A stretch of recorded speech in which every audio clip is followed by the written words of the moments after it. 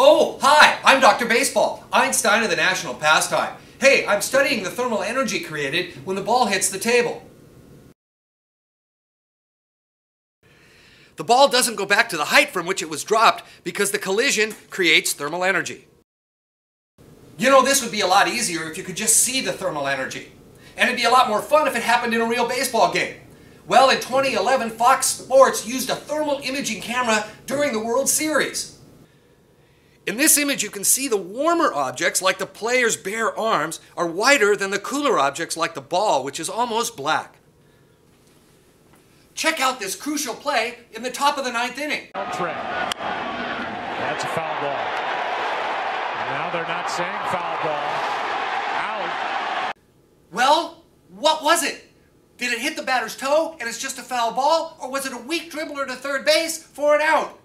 Let's look at the thermal image of this play and then we can see what it was. Let's take another look and see if there's anything that lights up. And right off the tip of the shoe. Right, right off the toes. That ball nicked him.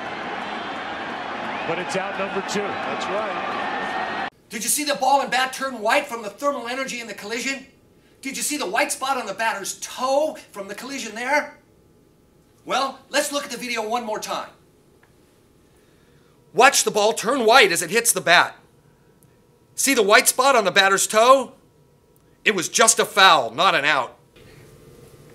Since you probably don't have a thermal imaging camera, why don't you try these colliding steel spheres from Arbor Scientific?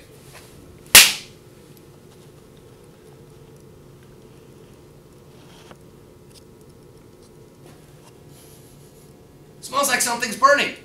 That reminds me of Ted Williams. He was the greatest hitter in the history of baseball, and he claimed that when he fouled a ball back, he could smell burning wood. Well, after doing this experiment, I'm inclined to believe him. This is Dr. Baseball saying, thanks for taking a swing at physics.